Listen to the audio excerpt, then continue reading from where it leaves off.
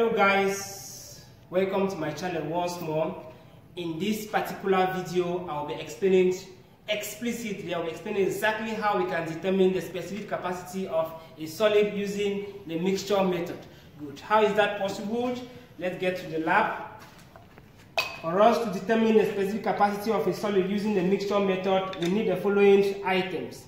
We need a thermometer, this is a thermometer. We need a copper calorimeter, this is a copper calorimeter. We need an electronic balance, this is an electronic balance. We need a given quantity of water, that's water.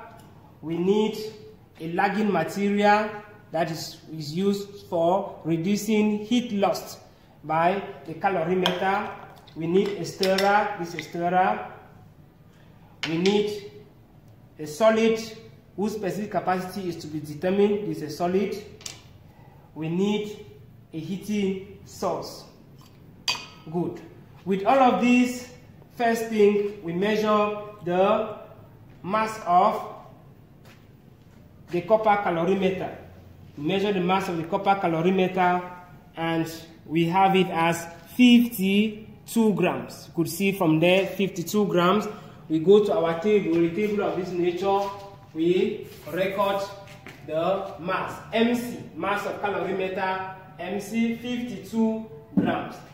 We go back, we remove the calorimeter, we place our solid whose mass is recorded as 50 grams. You could see 50 grams. We go to our table, mass of solid 50 grams. 50 grams Good.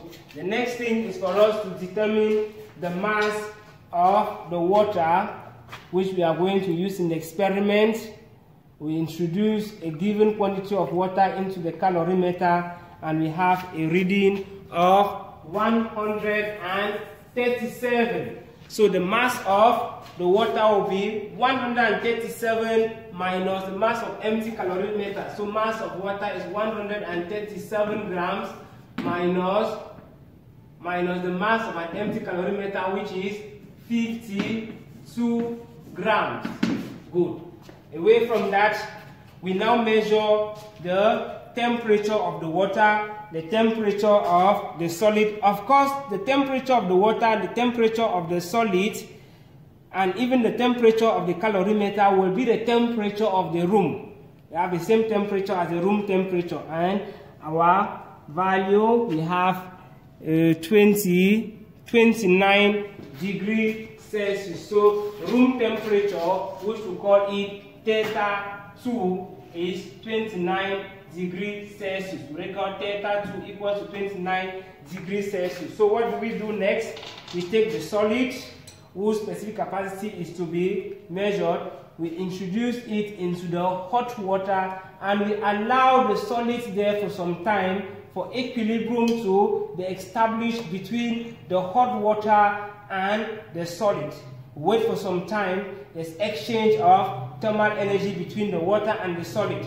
After some time, equilibrium temperature will reach and then we'll measure the equilibrium temperature by introducing our thermometer into the mixture. The temperature is increasing, the alcohol strength is increasing, up to a certain level it will stop increasing which will be the temperature of the water and the temperature of the solid. We are at exactly 70 degree celsius 70 degree celsius. That is the temperature of the solid. So we'll quickly transfer the solid into the large calorimeter and then we close the container and we stir, we stir, we stir the mixture using the stirrer and wait for some time for final temperature to be reached, the, the equilibrium temperature which is theta 3. We are going to record it theta 3 which is the temperature of the mixture. The temperature is dropping from 70, 70 it is going down 40, 45. Right now we are at um, exactly 33 degree Celsius. So the final temperature, final temperature theta 3 is 33 degrees Celsius, 33 degrees Celsius, 33 degrees Celsius. And the initial temperature of the solid, don't forget, is 70 degrees Celsius, which is the temperature of the solid while it was inside the warm water. So we quickly transferred the solid into the cold water in order to reduce heat loss into the environment. So after having all of this data, having all of this information, the next thing is to pass over to calculation. For us to get to the calculation, we need the specific capacity of water, which is standard, we know it, 4,200 joules per kilogram per, per kilogram per Kelvin, per kilogram Kelvin. We need the specific capacity of the calorimeter, which is 390 joules per kilogram Kelvin. And uh, we are going to calculate the specific capacity of the solid by applying the law of conservation of energy. The law of conservation of energy here will imply that the heat lost by the hot solid, by the solid, will be equal to the heat gain by the calorimeter plus the heat gain by the water. Heat gain by calorimeter plus heat gain by the water. We are assuming that heat gain by thermometer, heat gain by the stirrer is negligible. So we apply the equation. This is the mathematical expression of the heat loss by the solid, which is m mass of solid times specific capacity of the solid times the difference in temperature, theta 1 minus theta 3.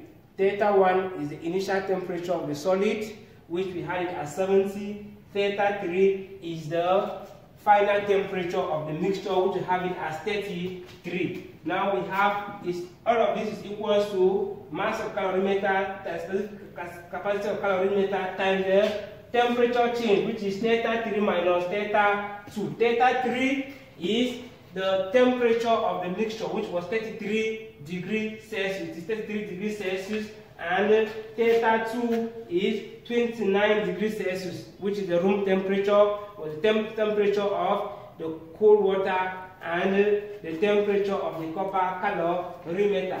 And finally, the heat gain by water is mass of water times specific capacity of water times the heat change, which is theta 3 minus theta 2. So from this equation of conservation of energy, we can therefore make Cs, which is the specific capacity of solid, the formula of this, the, the subject of the formula. We can make Cs the formula, the, the subject of the formula. And from there, we now substitute these quantities. When we substitute these quantities, we are going to have the specific capacity of the solid as required. Thank you very much. If you did enjoy the experiment, please subscribe, share, and comment. Thank you very much. See you soon in the next experiment. Bye. Good.